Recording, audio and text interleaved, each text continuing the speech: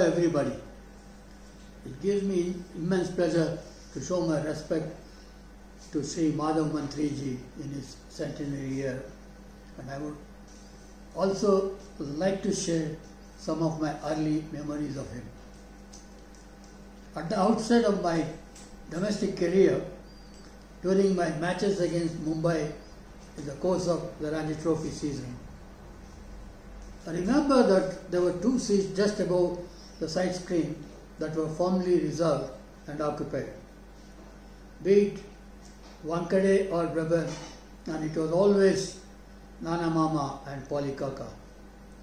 Seeing these two stalwarts of Indian cricket always gave me that extra push while I was on the field. Especially when we were given the honor of their wisdom. Post match, and aspiring young cricketers. Mr. Mantri's strong reputation as a disciplinarian always preceded him, especially when Sunil would fondly recollect his India cap incidents with me.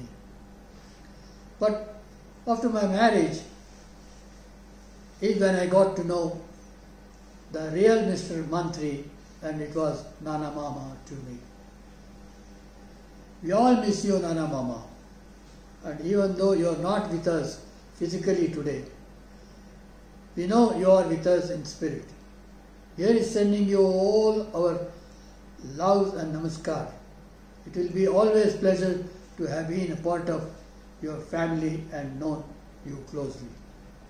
Thank you all. Stay safe and take care.